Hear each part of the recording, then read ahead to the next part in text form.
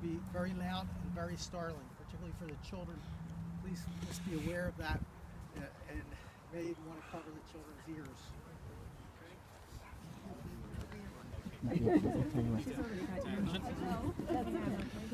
Firing party, honor the fallen. Present arms.